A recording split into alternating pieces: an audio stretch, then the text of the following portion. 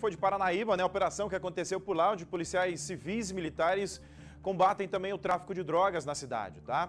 Bom dia, Rude. Bom dia a todos que acompanham o TVC agora. E policiais civis e militares cumpriram na manhã desta quinta-feira sete mandados de busca e realizaram uma prisão em flagrante em Paranaíba, aqui numa operação contra o tráfico de drogas.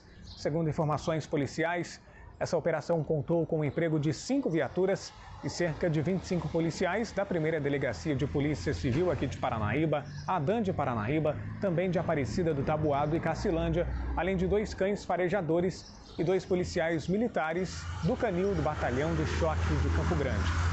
Os mandados de busca foram cumpridos nos bairros Industrial de Lourdes, Jardim América e Daniel Oi.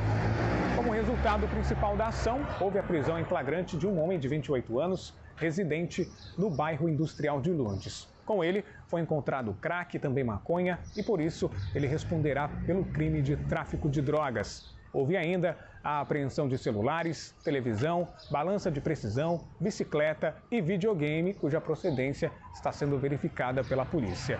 O indivíduo preso tem antecedentes criminais por tráfico de drogas e porte ilegal de armas. Ele também foi recolhido em uma das celas da primeira delegacia de Polícia Civil de Paranaíba e está à disposição do Poder Judiciário. De acordo com o delegado responsável pela operação, Francisco Antônio Moreira, o objetivo da operação é garantir segurança para toda a população aqui de Paranaíba.